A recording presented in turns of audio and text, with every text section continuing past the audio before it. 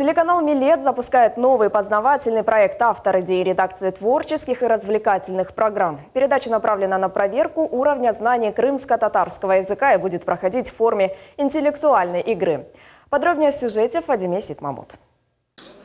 Базбелемос в переводе с крымско-татарского «Мы знаем». Так называется новый проект телеканала «Милет». Игра проходит между двумя командами, в каждой из них по три человека. Познавательная игра состоит из четырех туров. В первом уровне командам в течение минуты нужно словами описать то, что изображено на мониторе. Победителем уровня становится та команда, которая наберет больше слов. Во втором нужно угадать название и автора песен. В третьем туре каждой команде необходимо успеть сделать подсказку капитану, за которую команда Команда победителя получает 2 балла. Четвертый тур состоит из вопросов по топонимике и историческим объектам, которые чередуются с конкурсом «Угадай, что в мешке». Ведущая программы «Отделе ТОПЧИ» говорит, в осуществлении данного проекта участвует большая команда, которая состоит из редакторов, режиссеров, звукорежиссеров, видеооператоров и осветителей. Вклад каждого из них незаменим. На вопрос, как автору проекта, вам какой из уровней больше всего нравится? Ведущая без всяких сомнений сказала.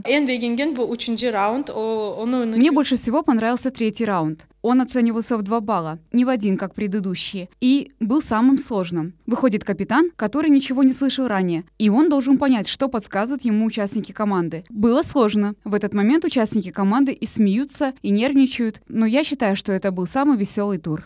В этот раз в игре участвовали сотрудники Крымско-Татарского музея культурно-исторического наследия, а их соперниками, а их соперниками стали сотрудники Крымско-Татарской библиотеки имени Исмаила Гаспринского. Участник команды, представляющий интересы библиотеки Севилия Гафарова, говорит, не стыдно не знать, стыдно не учиться.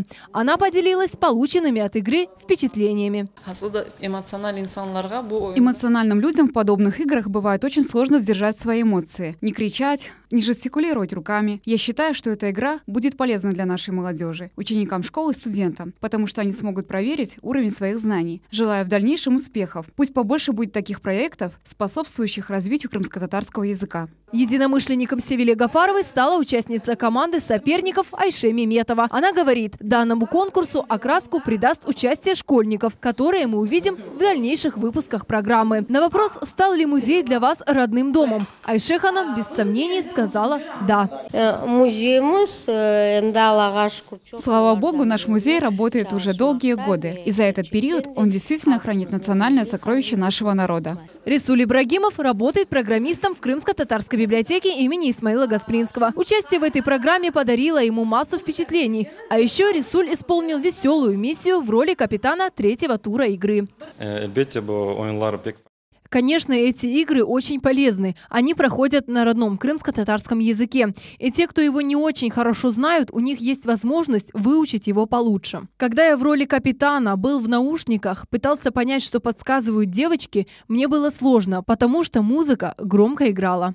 А первыми участниками программы «Бызбылемос» были редакторы программы «Саба» телеканала «Милет» и сотрудники радио «Ватан Седаса».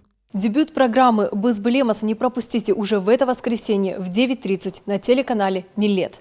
Фадиме Сейтмамут, Дмитрий Низовой, Ибраим Ганиев, телеканал «Милет».